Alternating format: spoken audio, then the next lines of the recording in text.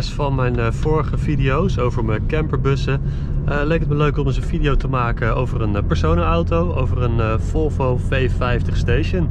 Dus daar gaan we nu naar kijken. Mooi rood van kleur, Maple Red heet deze kleur. Het is een mooi subtiel rood. En ja, als de zon schijnt ziet het er weer heel anders uit dan wanneer het bewolkt is. Echt ja, een unieke kleur. Unieke auto ook. Hij rijdt pas sinds dit jaar rond in Nederland. 2021 ehm, is het nu. Uh, voor die tijd heeft hij rondgereden in Zweden. Uh, maar deze auto is dus uh, geïmporteerd door de Volvo dealer eh, naar Nederland. Nou, we gaan straks nog even verder kijken naar de buitenkant. Maar we beginnen eventjes binnen. Mooi licht interieur van leer. En hier in het midden een mooie armleuning waar twee flesjes water in kunnen staan. Een vakje om wat spullen op te bergen. Bijvoorbeeld een uh, oplaadkabel voor je telefoon. Kun je daarop laden. Daar zit een 12 volt aansluiting. Nou, wat verder ideaal is aan, uh, aan deze uitvoering is dat hij hier uh, rubberen mat op de grond heeft. Um, als die vies zijn, doordat iemand met vieze schoenen is ingestapt, kun je die matten er zo uitklikken. En uh, nou ja, je spoelt het gewoon schoon. Of je veegt het even schoon. En ja, de, de, bekleding van de auto zelf blijft dus gewoon mooi. Nou, ook achterin elektrische ramen. speakertjes in de deuren. hier ook nog speakers.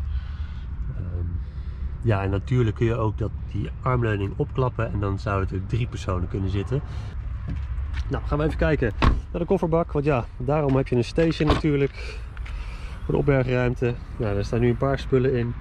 Maar je ziet wat een gigantische uh, laadruim je hier hebt. Uh, en ook hier weer uh, zo'n mat die ervoor zorgt dat de bekleding mooi schoon blijft. En is dit vies, nou dan haal je het eruit en dan spoel je het even af met de tuinslang. En het is weer schoon. Nou, natuurlijk kun je hier ook nog een uh, hoedenplank doen. Uh, die heb ik er nu niet in zitten. En je kunt daar aan die zwarte dingen kun je nog een uh, net doen. Bijvoorbeeld voor als je hierachter je hond zet of bagage zet.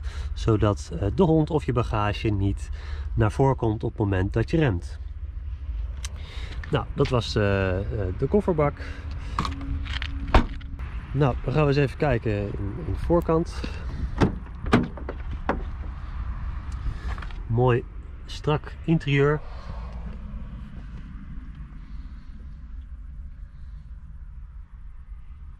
Hier zou je nog wat een kopje koffie kunnen zetten of een flesje water. Hier heb je elektriciteit. Hier heb je nog een opbergvakje voor bijvoorbeeld navigatie. En nog een klein vakje voor wat kleingeld. Nou, op het eh, stuur zie je de bediening van de radio. Uh, volume harder of zachter of volgende of vorige nummer. En aan deze kant zie je de knopjes van de cruise control. Ook wel erg fijn natuurlijk. Nou, dan de knopjes daar. Dat is natuurlijk om de ramen te bedienen. Alle ramen zijn elektrisch bedienbaar. Nou, uh, de stoel waar ik nu op zit, uh, die is te bedienen met behulp van deze hendels. Kun je helemaal naar wens aanpassen. Aan de andere kant, bij de bestuurder, daar is het een stukje luxer. Hier is het elektrisch te bedienen.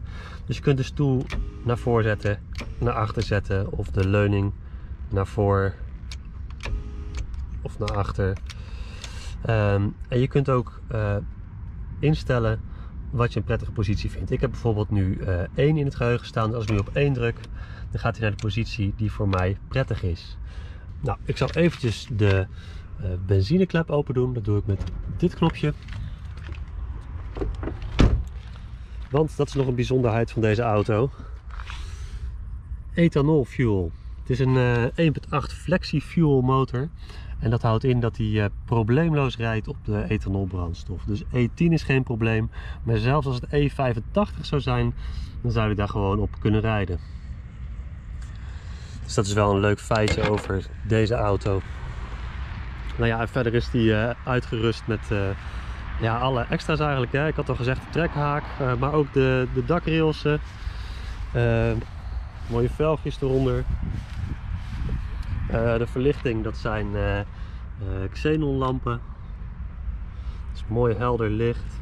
Nou, hij heeft natuurlijk mistlichten daar.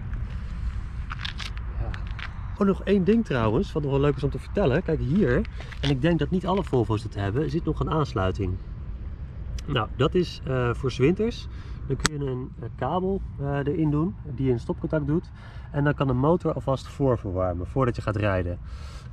Nu is dat in Nederland natuurlijk niet zo heel urgent. Maar in Zweden kan ik me voorstellen dat als het echt heel koud is, dat het wel fijn is dat je auto en zeker het motorblok al een beetje voorverwarmd is.